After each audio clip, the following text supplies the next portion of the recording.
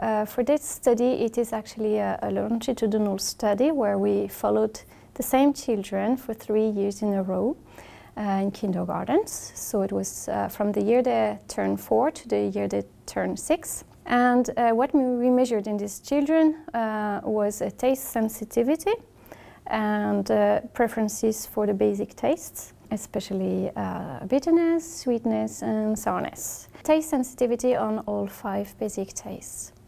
And the standard test for adults uh, to measure the taste sensitivity, basically you have to taste a lot of uh, glasses of water and uh, use scales and evaluate.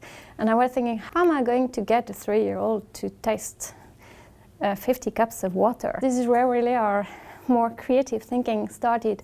And um, what we did is that uh, we tried to make it engaging and make it a game. And and we started uh, with uh, visiting the kindergartens and uh, telling the children a story um, that uh, Frida uh, developed uh, about several magical characters in the woods who like different types of waters.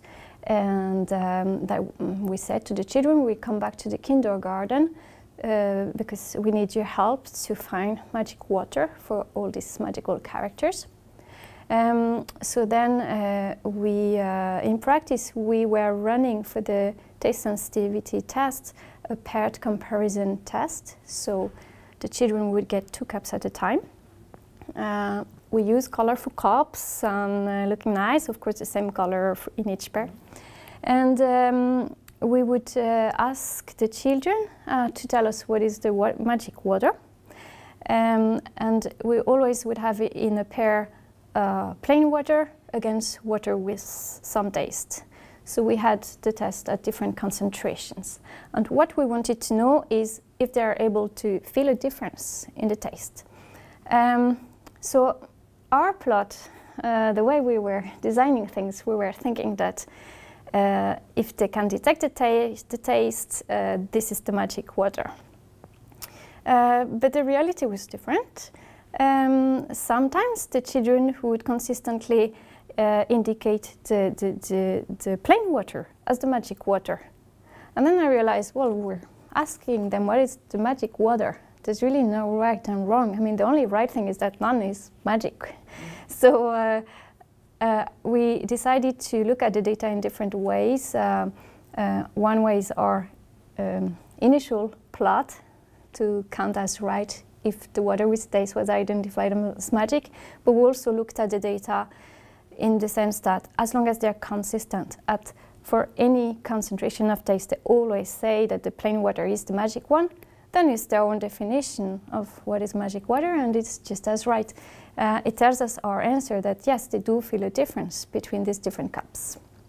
Um, so the results of the study um, well, uh, one thing is that uh, we could uh, measure taste sensitivity for the, for the children. We could see that there are big um, individual variations. Uh, we had some retest sessions with a subset of children and we could really see that they were consistent if they're in their answers, so that was important for us to know, of course. Um, we, so that, that was, uh, yes, also an interesting finding to see that even three, three four years old, they are replicable. In the testing. Um, and part of the testing in, in different session was on uh, taste preference for uh, uh, more or less bitter and sweet chocolate species and more or less sweet, sour uh, or, um, or bitter drinks. Uh, and one thing we could see is that um, as the children um, grew from four to five years old, that they liked the more and more sweet drink. Like um, from the first year of testing, the, the mean, uh, the, the, the, major trend was that uh, all children liked that there was more sweetness in the drinks, but it, this effect was even stronger at five years old. Uh, so that was uh, one of the results. We, we have uh, much more data from this study that is waiting. We also have the third year data collection that, is, uh, that was collected earlier this year. And we will be working more on the data and finding more results later.